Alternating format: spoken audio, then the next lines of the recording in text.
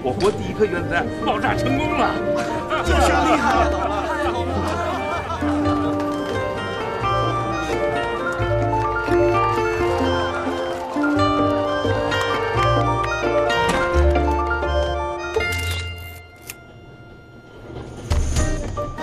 中国恢复联合国合法席位，我国在渤海湾地区建成一个新的大油田——胜利油田。中国首座百万。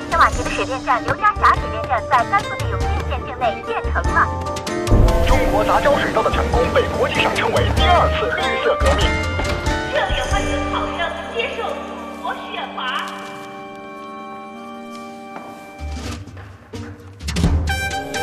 香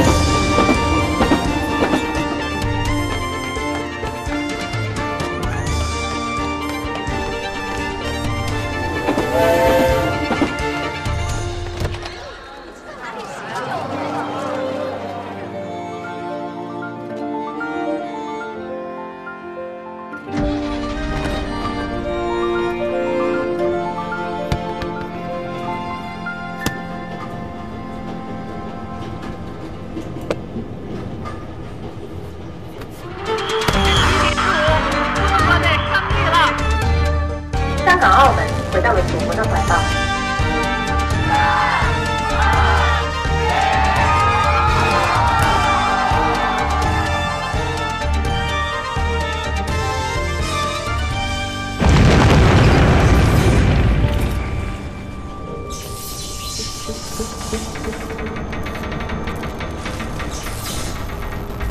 二零零八年五月十二日，在四川汶川发生历时八点零级大地震。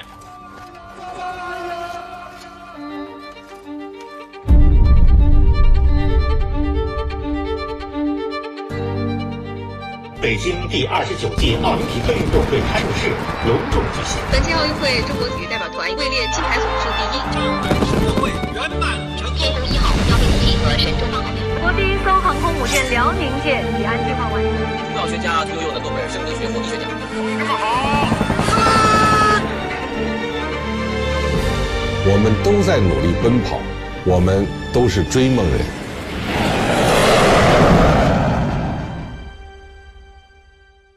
这是我和我们经历的时代。